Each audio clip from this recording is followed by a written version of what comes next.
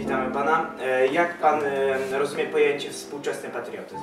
Znaczy dla mnie nie ma pojęcia współczesny, stary, sprzed wieków. Po prostu patriotyzm powinien być dostosowany do czasów, w jakich żyjemy. Dzisiaj, w czasach Europy, moim zdaniem patriotycznym jest pamiętanie, kim jesteśmy, z jakiego narodu się wywodzimy y, i pamiętanie o tych, dzięki którym mamy tą wolność dzisiaj.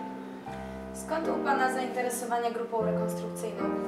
Jeśli chodzi o zainteresowanie grupą, y, ja zostałem zaproszony do bycia w tej grupie.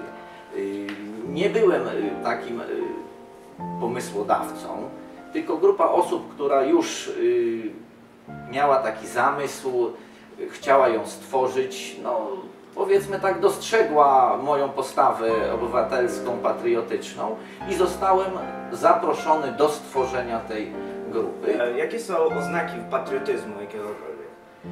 Moim zdaniem oznaką patriotyzmu jest y, pamiętanie o własnym y, pochodzeniu, y, szanowanie historii.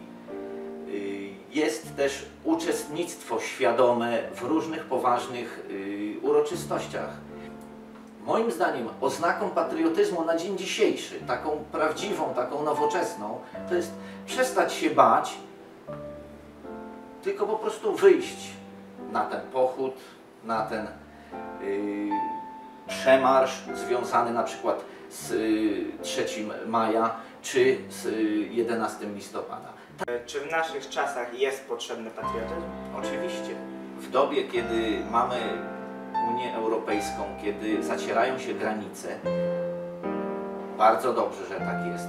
Łatwiej nam się poruszać po świecie i tak dalej. Jednak patriotycznym jest zachowanie naszej tożsamości narodowej. Wiadomo, wyjeżdżamy tu, wyjeżdżamy tam, przyjeżdżają do nas, ale musi być czuć, że jesteśmy w Polsce, że jesteśmy Polakami. Dziękujemy bardzo.